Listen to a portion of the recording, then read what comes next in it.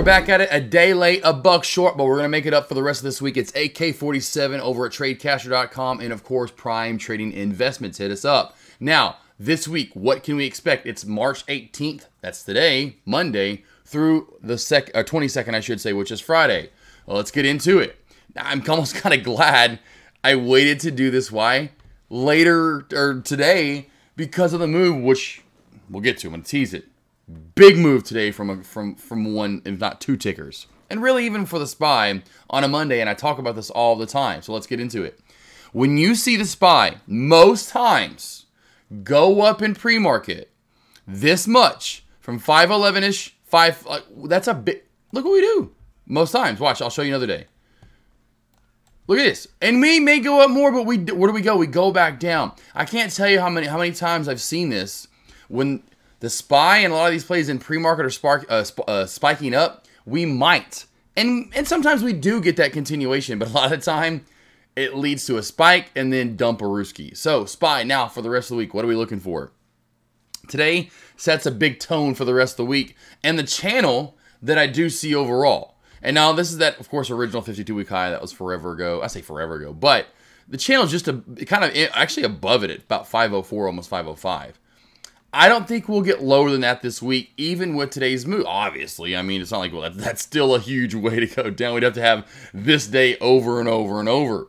And so let's go through these levels. Under 512, watch for a move even tomorrow right here, about 511.70, right there. Then down to about 512, or 511, 511. That's another key area. I think overall we could then find our way down to this area right here around 510.60.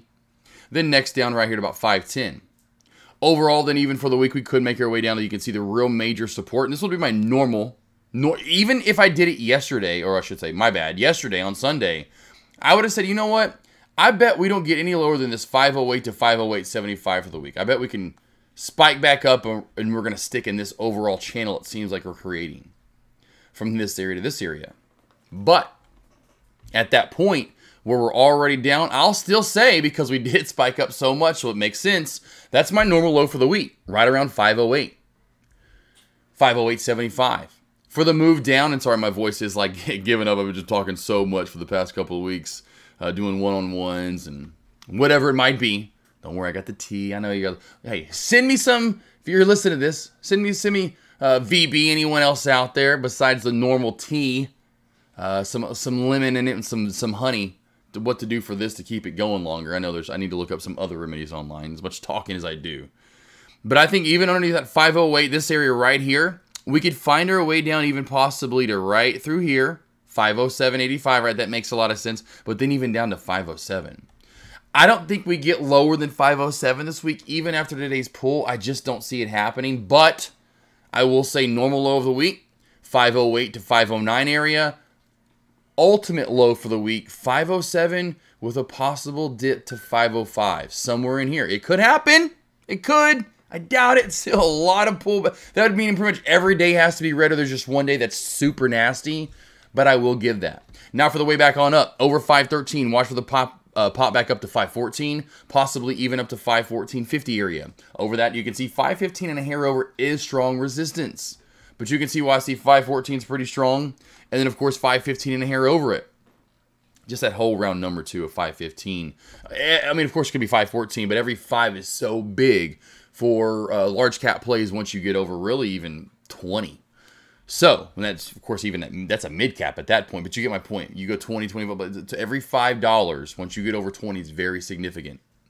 I would say my normal high of the week is going to be up over this 515, 50, 30 mark, whatever, right through here, up to about 516, somewhere in there.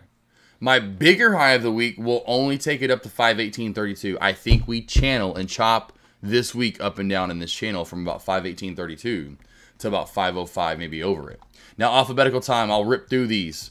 And this is what's I've been waiting for and waiting for and waiting for, talking about this for the last two uh, weekly previews. And we finally got it today. I didn't trade it. I'll show you what I did trade because it was just a better setup, in my opinion, because I'm just not a fan of Apple. But this was uh, actually a better setup.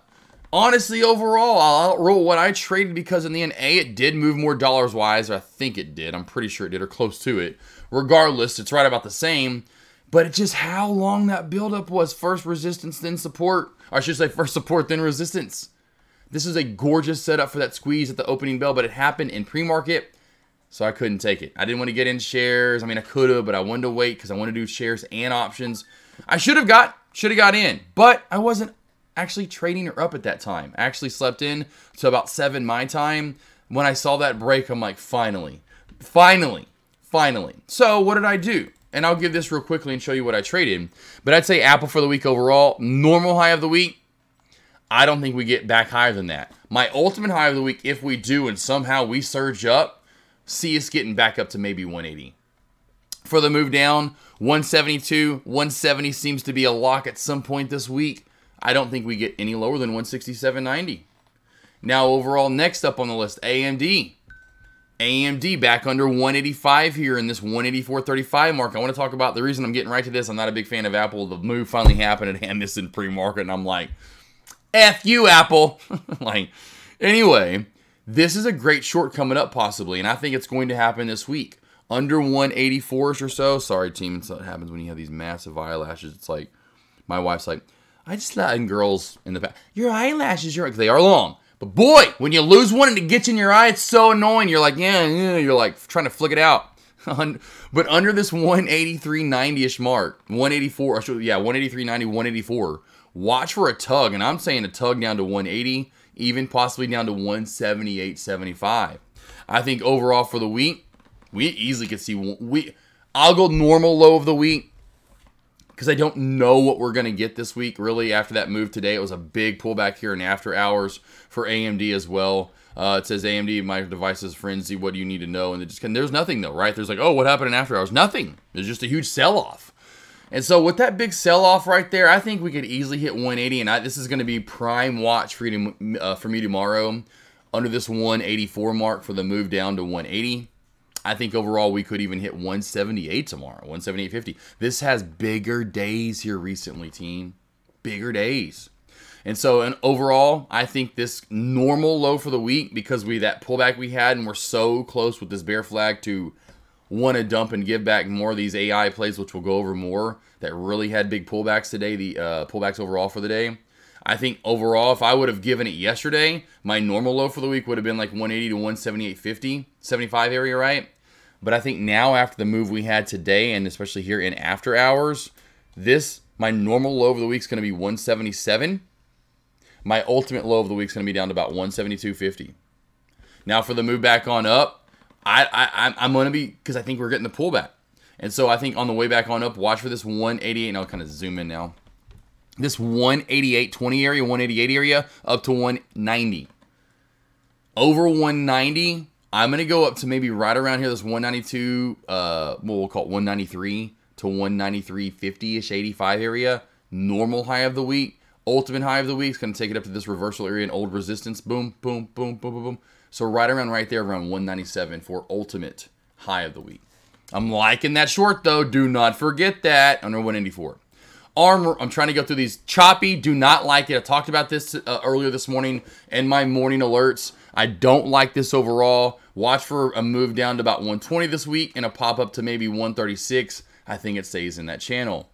Google now, the play I did trade this morning, and oh, it was oh, so ultimate, so beautiful. Came out with news with Apple. Of course, Apple rolled up this morning. That's kind of why I missed the Apple move, and of course, really even could have got it with Google, because if you go back to the longer time frame here, we haven't been over this area of 145 in such a long time. It was such a great blow up to 146 over 146 to this area. So you can tell. So now watch, I'm now even 148. I'm not getting into 150. I'm like, you're got to be kidding. Look at this move all the way in pre-market up. So I missed all that this morning. So that's why you can tell overall. You could split both ways. Go Apple, you go Google.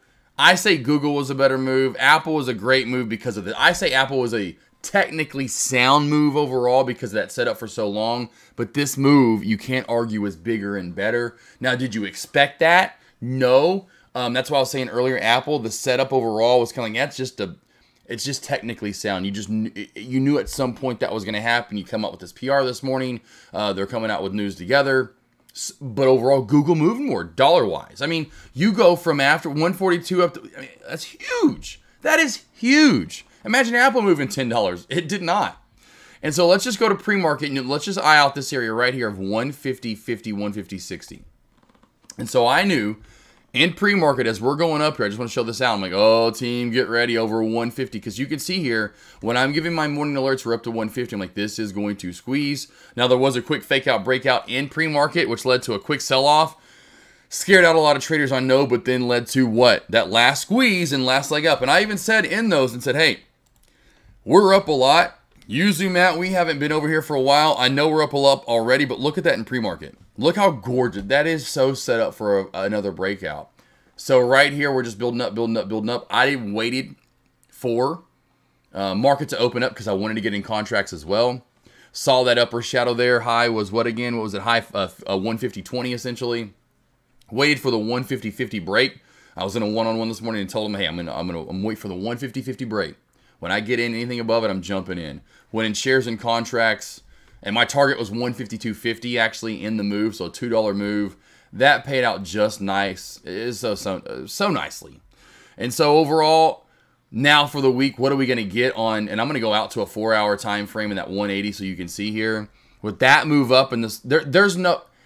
If we get over this this 153 mark, we'll call it that. I would be super shocked. So I'll call this ultimate high of the week. I, there's just I don't think we'll get back over that.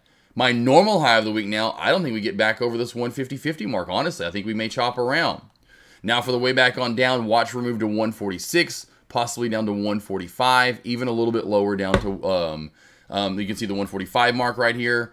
I think that's kind of insight. Maybe down to 144. I think we channel between 144 to 153. Huge move from uh, Google though. Meta, be careful with this. It's been in a choppier mode here recently, team. I would say over 505 uh, and 503.50 would be huge. 503.50 here, 505 there. And then we can explode up. I'd say your normal high of the week, even though this kind of went against the grain today and went up and stayed up, I would say your normal high of the week is going to be 510. Your ultimate high of the week, 520-ish or so. Somewhere between 519 to 520, 350.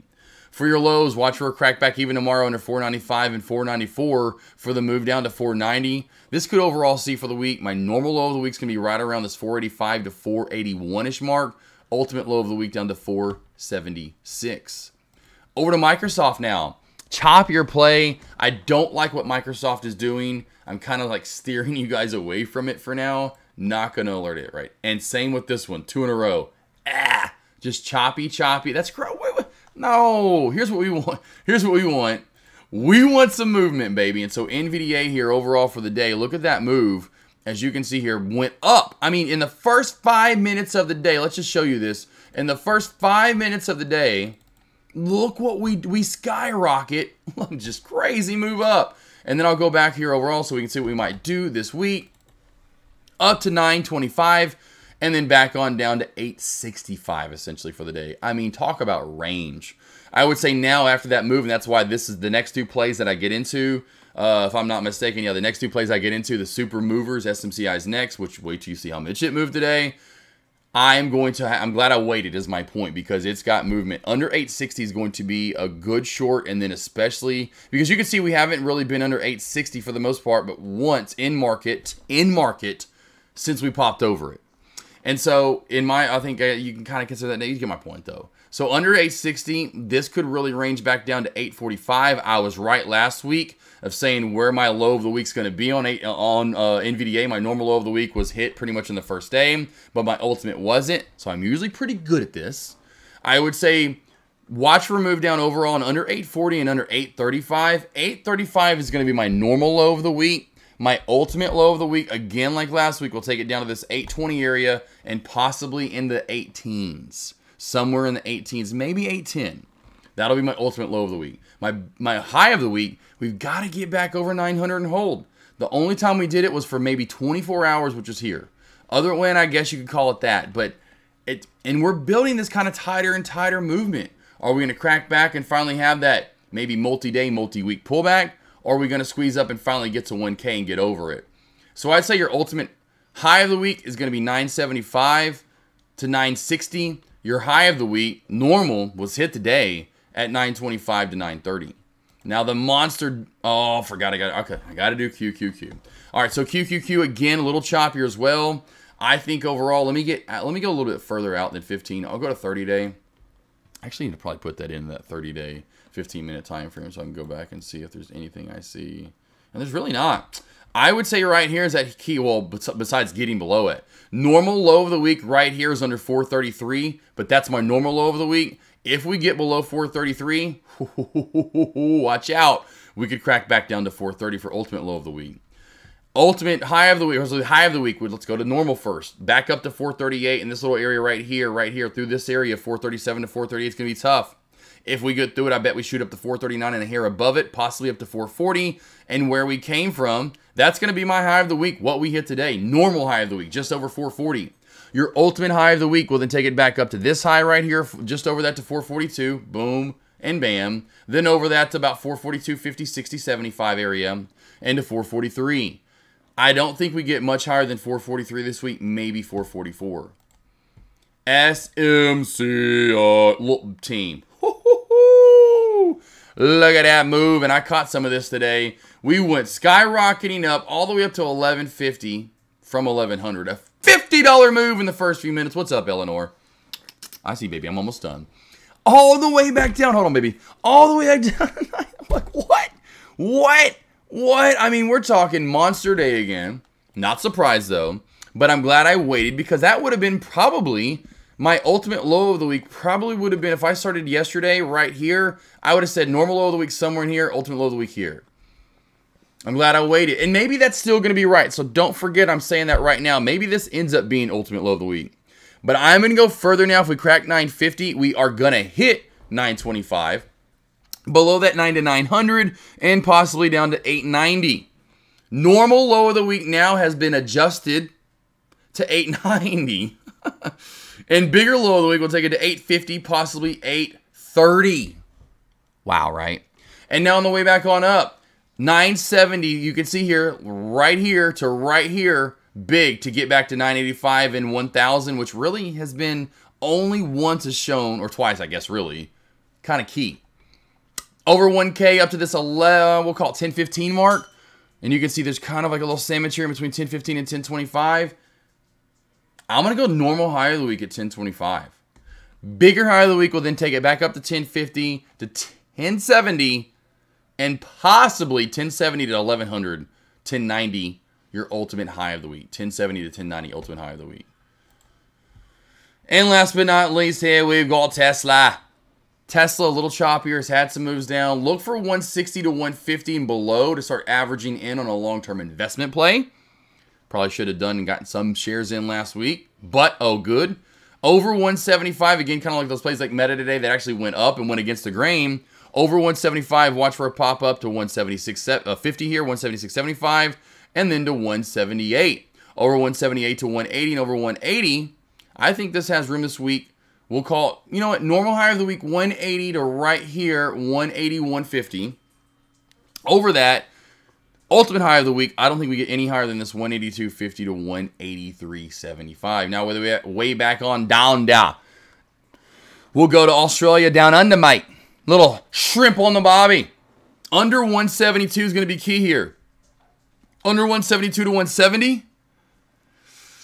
Under 170, watch for a pullback down to this 167 mark, 167.50. Under that, down to this one close to 165. That'll be my normal low of the week, 165. My ultimate low of the week will take it down, then pushing to 160. Ultimate low of the week, 160 or so. Ultimate high of the week, 183-ish, maybe a hair over it, 184-ish or so. Again, AK-47, Josh Smith Trades over at, you know, of course, Instagram, Prime Trading Investment, TradeCaster.com. Team, if you ever need any help, we have you covered, and especially myself, from small cap to large cap. Multiple plays alerted day in, day out. Come get that love if and when you need it. I'll see you all this week in chat.